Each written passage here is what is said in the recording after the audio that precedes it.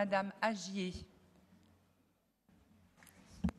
Madame la vice-présidente, chers collègues, chercher à prévenir euh, les risques technologiques, bien sûr, euh, nous sommes tous d'accord sur le fond. Surtout que la prise de risque ici concerne bien sûr des entreprises, mais surtout des salariés et des riverains qui, eux, n'ont aucun bénéfice à prendre ces risques. Ainsi, c'est important que les collectivités se saisissent de ce dossier pour la sécurité de ses concitoyens. Dans le cadre des plans de prévention aux risques technologiques, les PPRT, nous abordons la prévention des accidents, explosions, incendies, rejets toxiques liés à un dysfonctionnement. Mais qu'appelle-t-on dysfonctionnement quand on parle de technologie? Ainsi, par exemple, les rejets habituels de produits chimiques liés à un fonctionnement dit normal ne sont pas vraiment concernés par ces mesures. Et pourtant, n'est-ce pas du dysfonctionnement euh, lorsque l'on parle santé? Tous les experts confirment la dangerosité cancérogène du cocktail chimique que nous respirons chaque jour, ainsi que l'augmentation du nombre de maladies chroniques associées à une exposition évitable aux produits chimiques. Le principe même de la prévention est d'éviter des risques inutiles et ainsi aller, dès que cela est possible, vers une transition écologique en utilisant des produits moins dangereux à la fabrication et à l'utilisation. La prévention de base, c'est aussi innover dans de nouveaux process plus écologiques.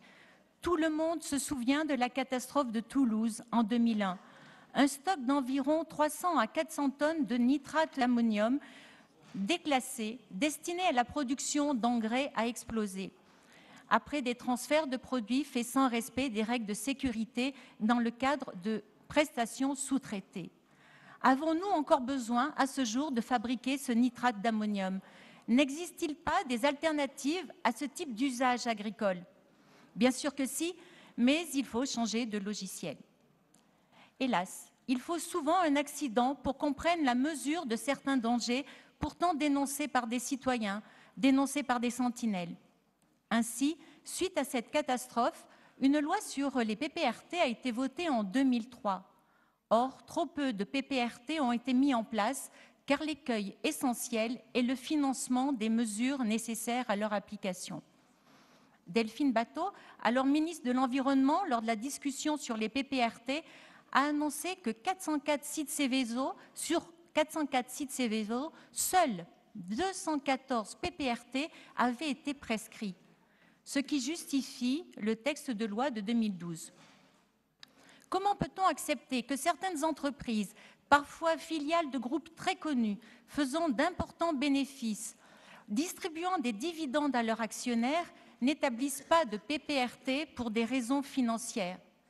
La sécurité des employés, des riverains, ne serait-elle qu'une option facultative pour ces entreprises?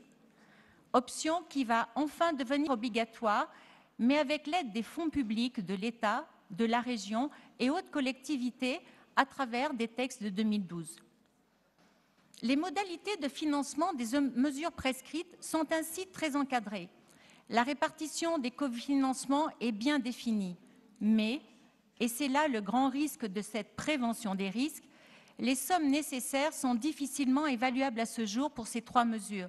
Les mesures foncières, les mesures relatives au renforcement du bâti des habitations et des mesures supplémentaires allant au-delà des exigences minimales pour réduire des risques, par exemple en modernisant le process industriel. Cela peut être aussi l'occasion d'une rénovation thermique dans l'intérêt d'une transition énergétique réelle. Pour ces trois types de mesures, des fonds publics seront utilisés pour les entreprises. Or, l'argent public ne peut servir ainsi des intérêts privés sans contrepartie et nous nous réjouissons que la région Rhône-Alpes propose aux exploitants concernés par des mesures supplémentaires de s'engager avec la charte d'engagement réciproque des entreprises sur cinq ans. Maintien de l'activité et des emplois, non-délocalisation et non-distribution de dividendes. Le groupe Europe Écologie Les Verts souhaite que le Conseil régional soit vigilant pour qu'elle soit pleinement respectée. Sur le terrain, 36 commissions de suivi de sites ont été créées en Rhône-Alpes, mais la région n'est représentée que dans les centrales nucléaires. Il faut donc prévoir que la région soit également présente sur les autres sites classés Céveso. En matière de sécurité, il est important de demander davantage de moyens humains pour effectuer des contrôles indispensables avec la DREAL et l'inspection du travail. D'autant plus que le recours à la sous-traitance, notamment pour la maintenance, enjeu primordial de ces sites, nécessite une attention particulière. Les conditions de travail des salariés de la sous-traitance sont souvent plus détériorées. C'est le sens de l'amendement que nous avons déposé. Pour financer la mise en œuvre de ces PPRT, la loi prévoit que l'État compensera les dépenses des collectivités par une augmentation de la taxe sur le tabac. Cela ne s'invente pas. Quelle logique, quel dilemme? Fumer pour payer les PPRT ou cesser de fumer pour préserver ma santé? La santé ou les PPRT, il nous faut choisir.